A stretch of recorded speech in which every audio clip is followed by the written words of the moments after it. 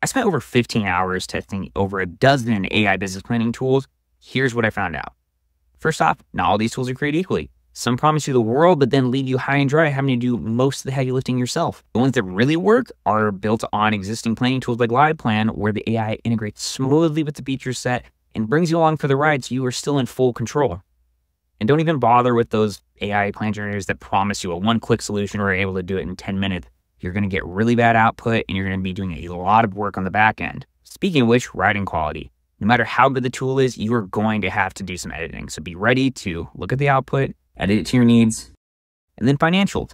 The reality is, most of these tools just can't do budgeting and forecasting. So if you want actual working financial statements, you either need to use a spreadsheet or opera planning tool that has financial management features attached. If you want to learn more, check out my full write-up ranking all these different tools and be sure to like and subscribe so you can follow along for more insights on AI business planning.